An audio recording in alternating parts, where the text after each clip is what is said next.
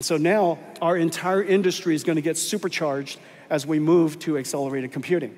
Uh, cuDF, a data frame for structured data. We now have a drop-in acceleration for Spark and drop-in acceleration for Pandas. Incredible.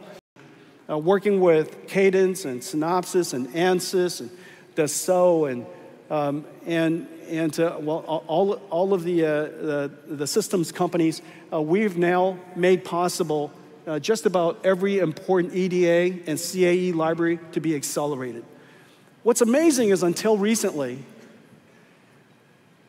NVIDIA has been using general purpose computers running software super slowly to design accelerated computers for everybody else.